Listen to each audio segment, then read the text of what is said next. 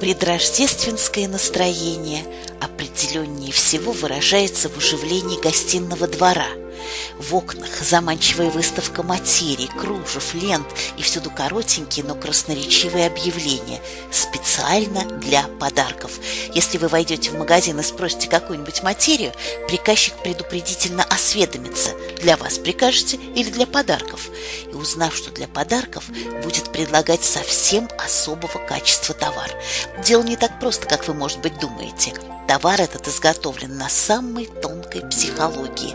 За выработкой материала наблюдают специалисты, знатоки души человеческой.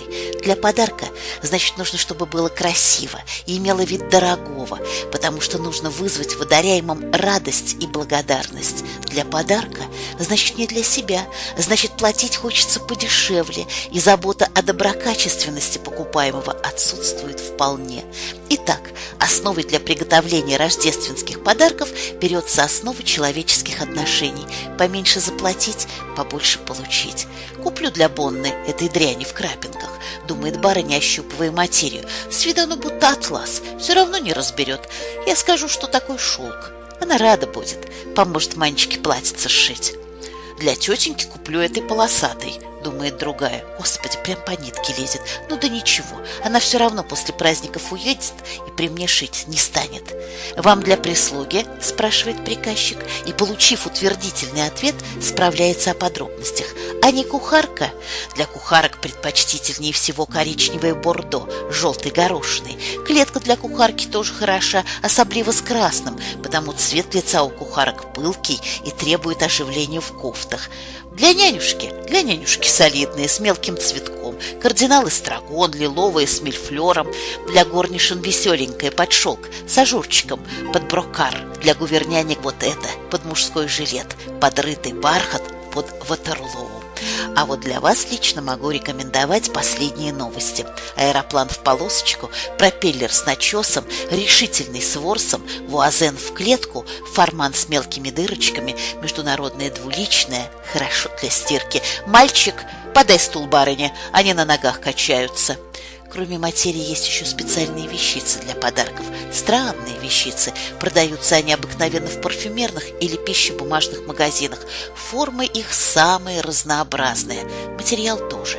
Бывают они из фарфора, из металла, из всяких шелковых тряпочек. Но что они изображают и для чего предназначаются, никто не знает. «Скажите, пожалуйста, что это за штучка?» — робко спрашиваете вы у продавца.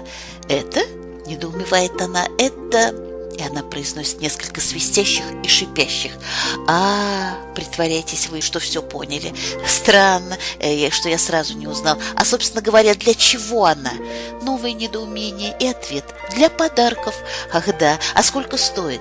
Четыре с полтиной, а поменьше и без бронзы три. Вас начинает притягивать к загадочной вещице какое-то странное тупое любопытство. Вы покупаете ее и много дней придумываете, кому подарить. Наконец, жертва выбрана. «Прелестная вещица!» — мечтательно благодарит она вас. «Это верно для перьев?» э, «То есть, ну, ну да, конечно, для перьев. Странно. А я думал, что это для снимания сапог», — вставляет свое слово старый дядюшка-провинциал. «Нет, это, скорее всего, для штопания чулок», — говорит тетка. «Видишь, оно вроде гриба, а мне кажется, его нужно вешать на лампу». «Нет, это подчашник. Чего вы смеетесь? Ведь бывают же подстаканники, так почему же...» Барышни шепчут друг другу что-то на ухо и, густо покраснев, смеются до слез. «Неправда!» — говорит толстый маленький мальчик. «Я знаю, что это. Это наушник для зайца!» Потом начинает говорить о предполагаемом пикнике, на который вас не приглашают. Вопрос о том, как украсть елку и что на нее повесить, решен давно, может быть, целые столетия тому назад. Каждый знает, что именно нужно покупать. На самую верхушку звезду вешается она специально для дам-писательниц, чтобы дать им сюжет о бедном мальчике, которому бабушка обещала показать звездочку, но надула. Мальчик умрет, а бабушка исправится и перестанет говорить надвое. На нижней ветке подвешивается всякая дрянь, э, там никому, кроме самых маленьких детей, ничего не видно, а самые маленькие дети, если и поймут, что под елкой висит дрянь, все равно рассказать об этом не сумеют, потому что их не учили гадким словам. Чуть-чуть повыше вешаются маленькие каменные яблоки, рекомендованные торговцами специально для елок. Действительно, говорят они, мала штучка, а вот поди-ка раскуси. Самый лучший отборный ряд украшений вешается не ниже двух аршинного расстояния от пола. Здесь маленькие дети не достанут, а большим все хорошо видно. Здесь помещаются бомбоньерки подороже и разные вещицы, дающие хозяевам возможность показать свое остроумие. Этот башмачок для Александра Алексеевича, решает хозяйка. Я ему подам его и скажу, вот под этим предметом желаю вам находиться. А эту скрипочку Осипу Сергеевичу, пусть все под нее пляшут. Что? Ничего не понимаю, удивляется муж. Очень просто. Желаю, чтобы все плясали под его дудку. Так ведь это же не дудка, а скрипка. Ну, как глупо. Не все ли равно? Лишь бы был инструмент. А эта свинья с золотом для кого? Это для папаши. А он не обидится. Ты с ума сошел. Это самая счастливая эмблема. Повыше вешаются орехи, бусы и вещи, которые жалко дарить чужим детям. Хорошо, милочка, этот зайчик достанется тебе. Ты напомни, когда будешь уезжать. А теперь, видишь, мне не достать. Таков порядок, освященный веками. И всякая хозяйка дома, получившая приличное воспитание, неприличное, впрочем, кажется, никому и не дается, справиться с этим делом без особого труда. Гораздо труднее решить вопрос о том, том, что класть под елку, что выбирать для подарков. Прежде всего обращается внимание на так называемые практичные подарки. Их иногда даже выписывают из Варшавы. «Вот, Наденька», — говорит муж, — «нужно раздобыть для Мишели этот приборчик. Называется «Каждый сам себе позолотчик». Прилагаются разные кисточки, лаки, золотой порошок. Ему понравится. Он ведь любит пачкать все, что под руку попадается. А для Аркадия Вениаминовича вот это, слушай, каждый сам себе сифон. Видишь, вот эту трубочку воткнуть в пробку. А Сереже можно просто подарить твою пепельницу с круглого стола. Скажем, что это новость, что это каждый сам себе пепельница. Затем подбираются подарки ехидно-мстительного характера. Для старой девы амур с розгой, для домовладельца заводной трамвайчик, для вегетарианца картонная котлетка.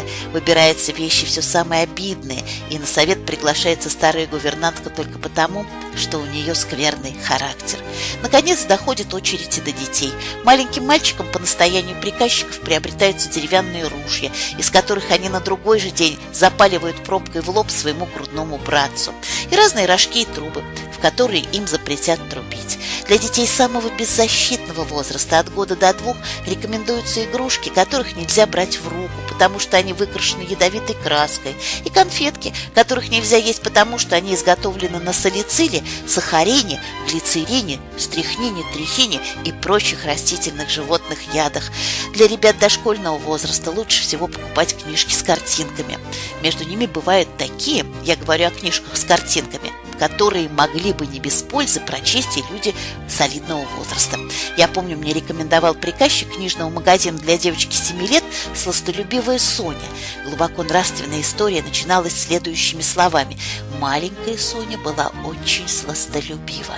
Однажды она съела все вишневое варенье, которое с трудом и заботами сварила для своих друзей ее добрая мать. В конце рассказа маленькая Соня строго наказана за свое сластолюбие, и дети-читатели убеждаются раз навсегда, что с сластолюбивыми быть невыгодно. В большом ходу также переводные немецкие книжки. На русских детей они действуют несколько двусмысленно. Есть, например, рассказ про маленького фрица, сделавшего тысячи добрых дел, которые были бы не под силу самому всесовершенному Будде. В конце рассказа маленький фриц идет по улице, и все прохожие, смотря на него, говорят «Вот идет наш добрый маленький фриц», только и всего. Прочтя этот рассказ, русские дети убеждаются, что добрые дела вознаграждаются очень плохо и стараются впредь сдерживать свои сердечные порывы. Есть еще очень поучительный рассказ про мальчика Генриха, который вел себя очень скверно и был в наказании оставлен без обеда. И в то время, как сестры и братья его ели вкусные говяжьи соусы, он принужден был довольствоваться печеным яблоком и чашкой шоколада. Книга эта производит на русских детей самые развращающие действия. Я знаю двоих, которые прямо взбесились, добиваясь счастья есть печеные яблоки и пить шоколад вместо скверных говяжьих соусов. Безнравственная книга. Мы-то взрослые давно знаем, что добродетель питается говяжьими соусами, в то время как разные безобразники лакомятся шоколадом. Но зачем же открывать глаза детям? Задача педагогики – как можно дольше сохранять в детях их невинную бессмысленность, чтобы из них могли выработаться сознательные люди только к 30 годам. Иначе подумайте, что бы было, кого бы мы тогда эксплуатировали, на ком бы выезжали. Нет, господа, берегитесь вредных книжек, лишающих наших детей их очаровательной беззащитности.